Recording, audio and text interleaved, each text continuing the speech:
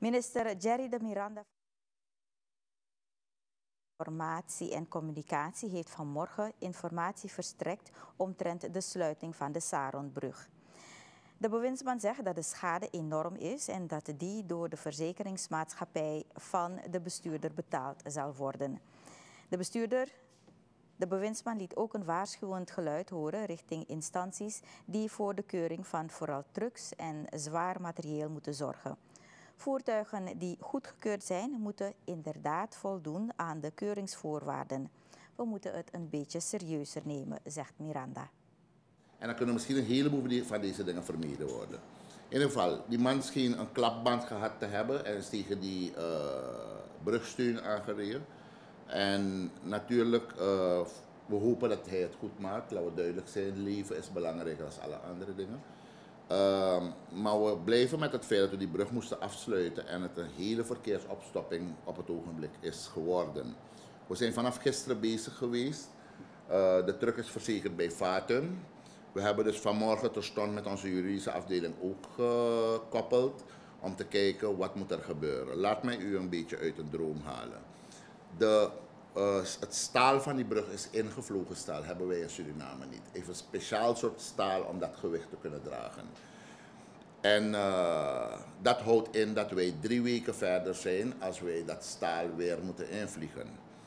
Uh, en dat gebeurt allemaal natuurlijk de laatste tijd neemt men in het buitenland en zowel in Suriname geen schelpen meer, dus daar is geld voor nodig. Maar natuurlijk gaan we afstappen van het feit dat openbare werken, als u mee borden kapot rijdt, dat we rennen om borden weer te zetten. U rijdt berm, u maakt ze vuil, u weer rent om ze op te ruimen, we gaan stoppen ermee. De bewindsman zegt verder dat het ministerie een noodplan opstelt. Er zal voorlopig een steunpilaar geplaatst worden, zodat de brug voor klein vervoer opengesteld kan worden, zegt Miranda. Als je dat andere materiaal is vijf jaar. Dus het is niet dat het slecht is, maar we moeten datzelfde staal gebruiken ervoor, waardoor je toch dat staal moet laten invliegen. Wanneer we die bypass hebben gemaakt, die versteviging hebben gemaakt, dan gaat die brug zijn gewicht normaal kunnen dragen.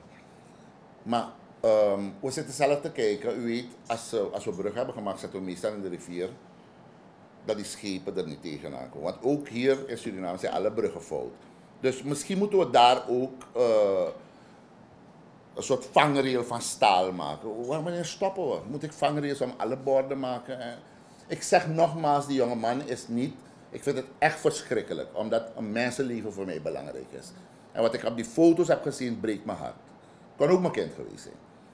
Maar moeten we niet meer een beetje gaan kijken naar de veiligheid in dit land? Stel dat iemand op die brug ligt. Dat was minister Jerry Miranda van Openbare Werken, Transport en Communicatie. Hij informeerde de pers vanmorgen over de situatie van de Saronbrug. En hij gaf ook informatie over het noodplan om de brug weer open te stellen voor het publiek.